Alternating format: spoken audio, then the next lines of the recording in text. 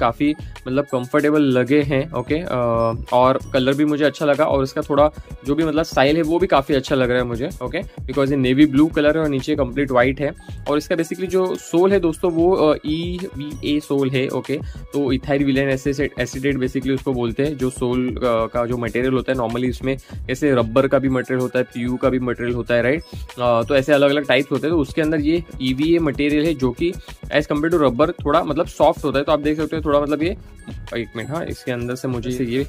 जो कार्डबोर्ड है निकालने दीजिए। ओके तो आप देख सकते हो अभी ये कितना मतलब ओवरऑल देख सकते हो कितने फ्लेक्सिबल है। ओके तो चलोगे आप इसके अंदर तो बेसिकली आपको ऐसा मतलब ज़्यादा स्ट्रेस नहीं होगा आप चलोगे इसके अंदर तो बिकॉज़ ये इतना इसका सोल ही इतना ज़्यादा फ्लेक्सिबल है तो काफ़ी कंफर्टेबली आप इसके अंदर वॉकिंग या फिर आपका जो भी जॉगिंग है रनिंग है आप कर सकते हो। ओके और ओवरऑल इसकी ग्रिप भी आप देखोगे तो काफ़ी अच्छी है यहाँ पे देख सकते हो। सो ग्रिप के बारे में कुछ